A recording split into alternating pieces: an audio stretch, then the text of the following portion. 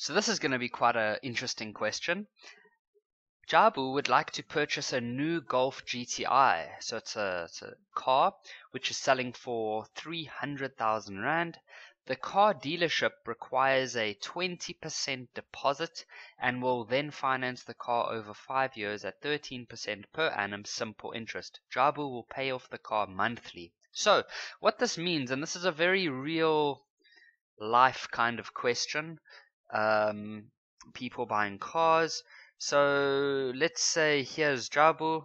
He's very happy because he's gonna go to the car dealership to buy his new car. All right. So he walks into the car dealership. He spots this lovely car that he's that he that he really wants, but it is quite expensive. It's three hundred thousand rand. But there is an alternative way for Jabu to be able to buy this car without having to pay the full amount. So, and this is how it works in real life for 95% of people. This is how they purchase cars. So, the car dealership wants a 20% deposit. So that means that he has to pay them 20% of the price of the car, which is 300,000 Rand. Of means um, times. And so 20%, you can say 20 over 100, just like we do with our normal um, simple interest or compound interest questions. Sorry, that's meant to be at times. 300,000 Rand. And what you'll find is that that is going to give you 60,000. So Jabu is going to pay the car dealership 60,000 Rand upfront. On the day, he's going to give them 60,000 Rand. The car dealership will then say, okay, fine, you can now have the car, but you are going to pay us back the rest of the money. And because you're not paying us the full amount, we're going to penalize you. We're going to add interest. But Jabu's fine. He's happy. He knows he's going to get a bit of interest and a bit of a penalty, but he just wants his car.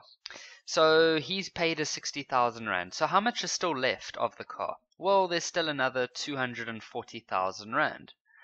Now the car dealership, they're going to look at that 240,000 Rand and they're going to say, hmm, well, we're not very happy, so we're going to add interest. They're going to add interest using, I think we said simple interest. Let's just double check. There we go. Simple interest, 13%, and it's going to be for five years. So let's see how much Jabu's actually going to have to pay. So we just use the simple interest formula using the 240,000. Remember, they're not interested in the 300,000 anymore because Jabu has already paid some of it. So they're not going to add interest onto the 300,000.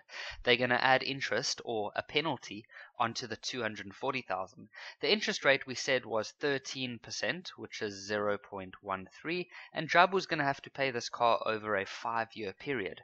Now, if you go type this all in on your calculator, it's going to give you 396 thousand rand that Jabu still owes these people.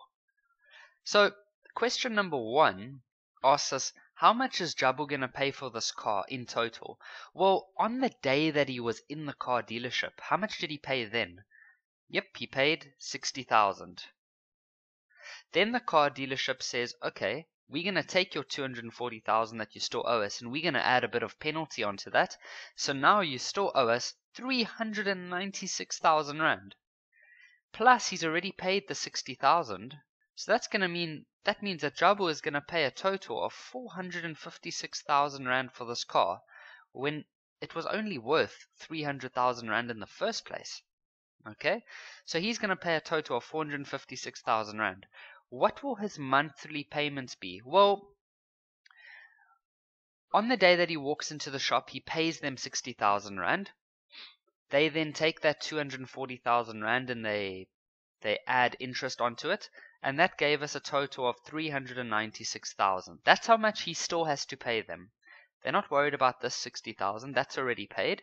So he still owes them 396,000 Rand. Now, in five years, there is 60 months. So you can say 396,000 divided by 60, and that's going to give you 6,600 Rand per month. So Jabu for the next 60 months, he will pay these people 6,600 Rand. Now, you see why some people do this is some people don't, or not many people have 300,000 Rand in their bank account.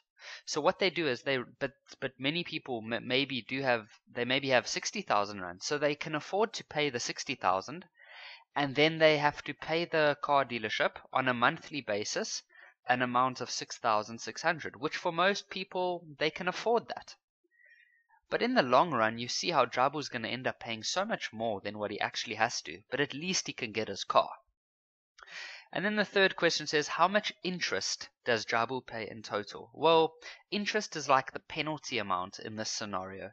So he was meant to pay 300,000 Rand. That's how much the car is worth. He pays a total of 456,000 Rand. So how much penalty has been applied? Well, the penalty has been the penalty will be 456,000 minus the 300,000 and that's going to give you a value of 156 thousand rand.